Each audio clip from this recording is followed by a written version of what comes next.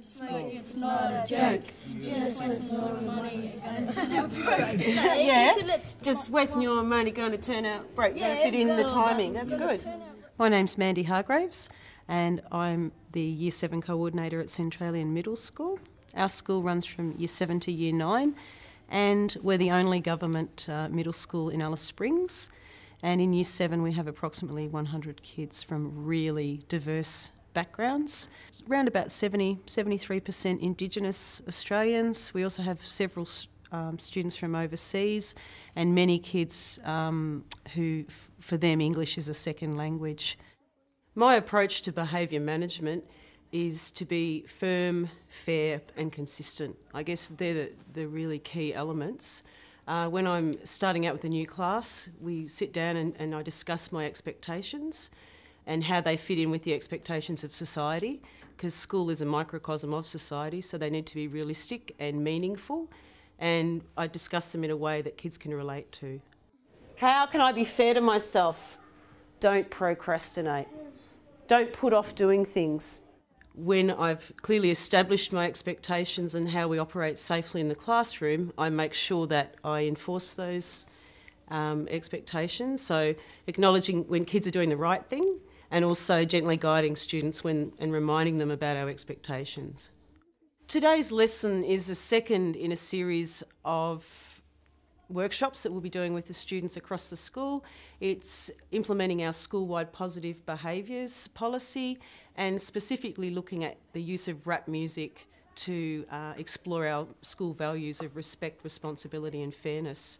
Today what we're looking at is how to construct the verses and so we're using a matrix where they can start to develop ideas around um, the words for their song lyrics. To make a choice you choose. Responsibility and fairness. Stop to think and don't be careless. Each other's what you gotta do.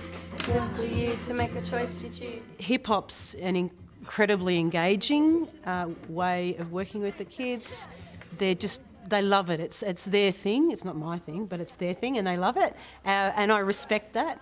They are really imaginative with, with, with their lyrics, and I think it, it's, it empowers them and it helps them have ownership of, of those values, and they find ways of actually expressing it and giving real meaning, meaning to the values.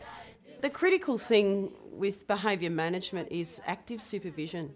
You don't wait till something goes wrong, almost anticipating when they're going to lose focus and then providing a change of activity or um, a positive comment is enough to sometimes, oh, keep them on task.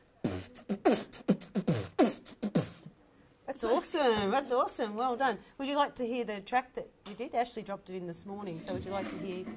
But if you do that consistently, you win. You know, there's very, very few um, situations where you're not able to turn things around and, and work with kids. And, uh, you know, we want them to be here. We can't teach them if they're not here. That's the other thing that's really important is that being a part of the community. And that's developed over time and years. It's your connections with their families. We're in a small community, so those connections are really, really important, not just with the kids, but with their families. You can't separate behaviour management from academic learning, and it all co- comes back to the individual. So, my chief um, goal, I guess, is to build self esteem and confidence in kids, make them feel good about themselves so that they're better able to learn. What strategies do you adopt to ensure that students are engaged in their learning? How might routines and expectations need to be adapted to take account of the physical, social, and intellectual development of students?